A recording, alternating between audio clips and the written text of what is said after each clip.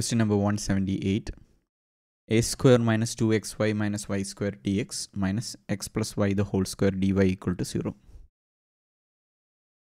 Given equation is in the form mdx plus n dy equal to 0. We will check whether the given equation is exact first using the necessary and sufficient condition which is dou m by dou y equal to dou n by dou x.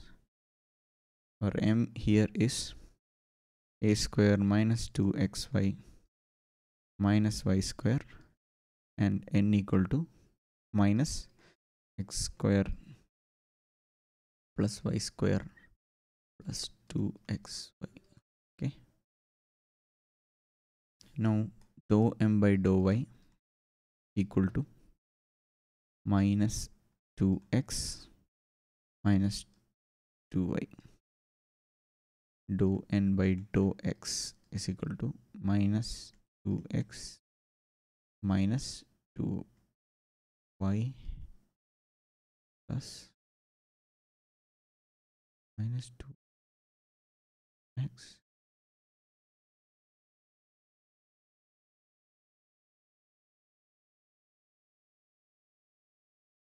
minus 2x minus 2y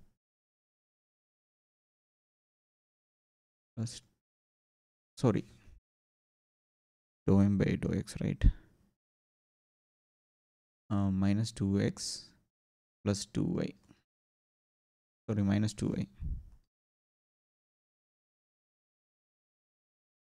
um so this differential gives minus 2x and this differential gives when minus is taken inside minus 2y so dou m by dou x dou y equal to dou n by dou x.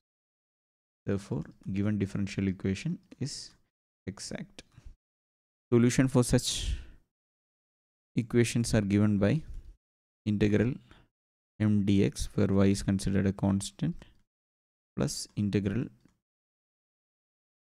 terms in n without x dy equal to c. So here it is integral a square minus 2xy minus y square dx plus integral minus y square only dy equal to c.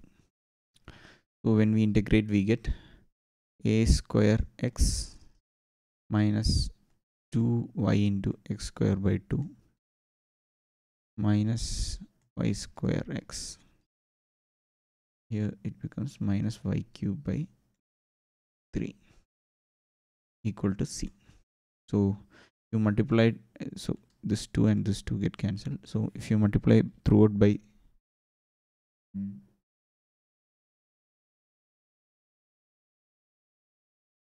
so the give, given So the given answer is just this minus x square y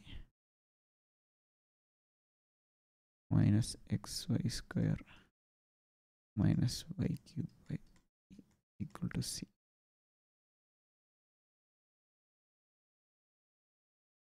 So this is the solution given. So this is the answer to the question number 178.